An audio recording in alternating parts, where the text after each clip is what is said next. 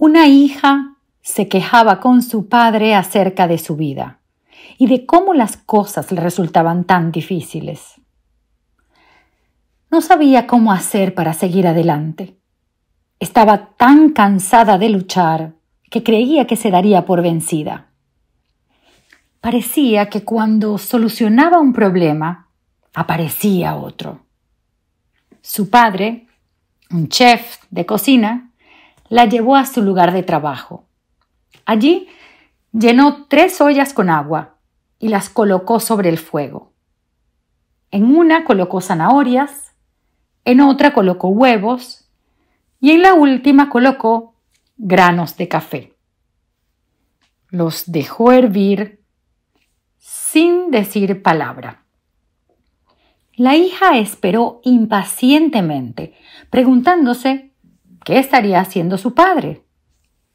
A los veinte minutos el padre apagó el fuego, sacó las zanahorias y las colocó en un tazón. Sacó los huevos y los colocó en otro plato. Finalmente coló el café y lo puso en un tercer recipiente. Mirando a su hija le dijo, Querida, ¿qué ves? Zanahorias, huevos y café, fue su respuesta. La hizo acercarse y le pidió que tocara las zanahorias. Ella lo hizo y notó que estaban blandas. Luego le pidió que tomara un huevo y lo rompiera. Luego de sacarle la cáscara, observó el huevo duro.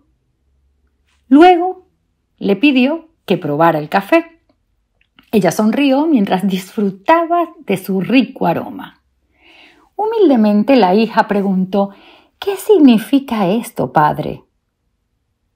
Él le explicó que los tres elementos habían enfrentado la misma adversidad, agua hirviendo, pero habían reaccionado diferente. La zanahoria llegó al agua fuerte, dura, pero después de pasar por el agua hirviendo se había puesto débil, fácil de deshacer. El huevo había llegado al agua frágil. Su cáscara fina protegía su interior líquido, pero después de estar en agua hirviendo, su interior se había endurecido. Los granos de café, sin embargo, eran únicos. Después de estar en agua hirviendo, habían cambiado el agua. ¿Cuál eres tú, hija, cuando la adversidad llama a tu puerta? ¿Cómo llama a tu puerta? ¿Cómo respondes? le preguntó el padre sabiamente a su hija. Eres una zanahoria que parece fuerte, pero cuando la adversidad y el dolor te tocan, ¿Te vuelves débil y pierdes tu fortaleza? ¿Eres un huevo que comienza con un corazón maleable? Poseías un espíritu fluido, pero después de una pérdida, una crisis o un problema te has vuelto duro y rígido? Por fuera te ves igual, pero eres amargada y áspera con un espíritu y un corazón endurecido. ¿O eres como un grano de café?